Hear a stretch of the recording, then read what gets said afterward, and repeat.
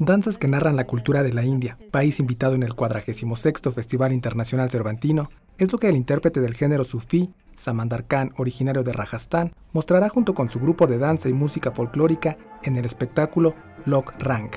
En conferencia de prensa, Samandar explicó que su presentación el 24 de octubre a las 19 horas en los Pastitos de Guanajuato iniciará con la invocación a los dioses, así como muchas plegarias y rezos como marca la costumbre. Y en nuestro espectáculo esta noche vamos a tocar muchos temas folclóricos que alaban a los dioses, a nuestros héroes, y eso es un punto común entre nuestra música y la música en toda la India. En esta, esta noche, en nuestro espectáculo, vamos a empezar con una invocación de Ganesh, quien es el elefante eh, dios en nuestro país.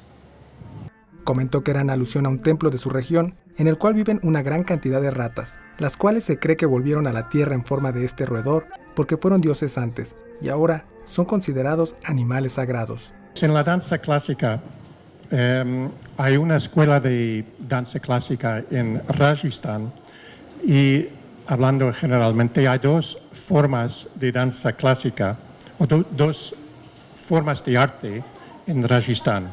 Hay la tradición, la, danza clásica y eh, después la danza tradicional, que se llama Mandañar.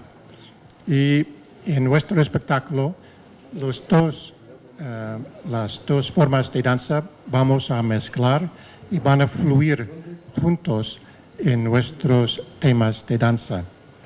Samandar comentó que la segunda parte del espectáculo será una danza folclórica para venerar al dios Shiva y a su concubina Parvati, por lo que las jóvenes sin casar realizan hazañas al bailar.